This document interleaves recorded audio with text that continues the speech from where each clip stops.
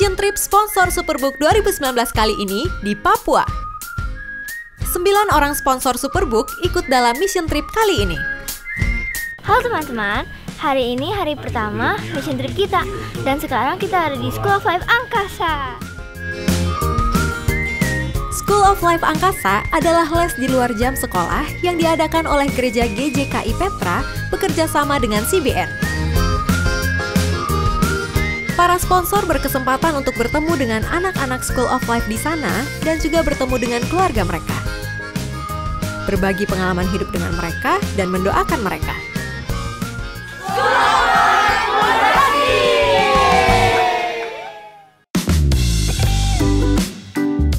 Hari kedua mission trip, para sponsor menyeberangi Danau Sentani untuk melayani anak-anak dari sebuah gereja yang ada di sana. Hari kedua kita mission trip dan kita sudah nyampe di GKI Baitania Tadi kita disambut sama mereka Dan sekarang kita siap melayani Anak-anaknya sangat antusias dengan pelayanan dari tim Superbook. Para sponsor Superbook melayani mereka, bernyanyi, membagikan firman Tuhan, dan berdoa untuk anak-anak di sana.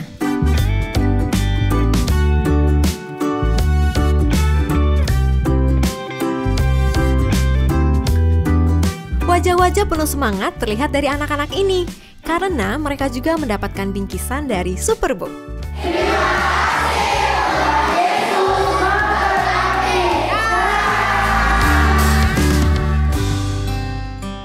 Saatnya ke Wamena.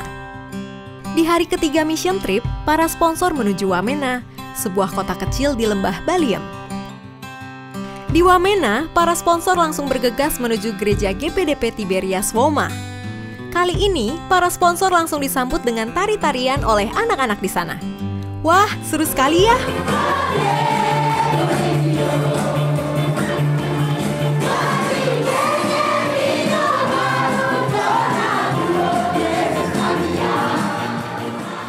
Dari GPDP Tiberias Moma, kita sudah tiba di STK IPAW Wamena. Di sini, para sponsor juga melayani anak-anak, bernyanyi, dan bermain dengan mereka. Kemudian, memberikan bingkisan berupa tas, buku, dan alat tulis sekolah. Yang pertama kita bersyukur untuk Tuhan karena kehadiran tim menjadi berkat tersendiri bagi kami di gereja. Kemudian menjadi sukacita bagi anak-anak kami. Waktu kami menyampaikan bahwa akan ada tamu yang datang dengan senang mereka antusias untuk datang pada hari Minggu. Bukan saja mereka diberkati secara jasmani tetapi juga mereka diberkati secara rohani.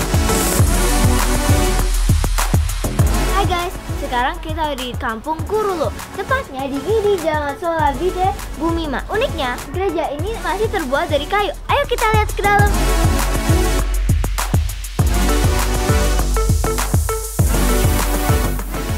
Di hari keempat, tim sponsor Superbook melayani di desa Kurulu, Wamena.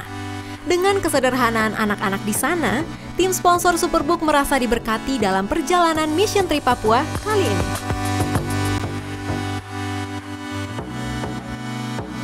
Menurut saya program Mission Trip CBN ini adalah program yang sangat cocok untuk semua orang yang rindu untuk memberkati anak-anak yang langsung turun ke lapangan dan juga yang rindu ingin membantu orang-orang di sekitar.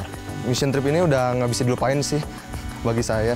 Melayani anak-anak gitu, mengajar gitu, sambil nyanyi bareng gitu, bagus juga sih. Membuat anak-anak itu tahu kalau Tuhan Yesus tuh sayang pada mereka gitu. Yang belum pernah ikut mission trip, ayolah kita harus ikut mission trip ini karena pengalaman-pengalaman yang kalian dapatkan sangat berharga dan khususnya ini juga dapat meningkatkan pengetahuan rohani kalian.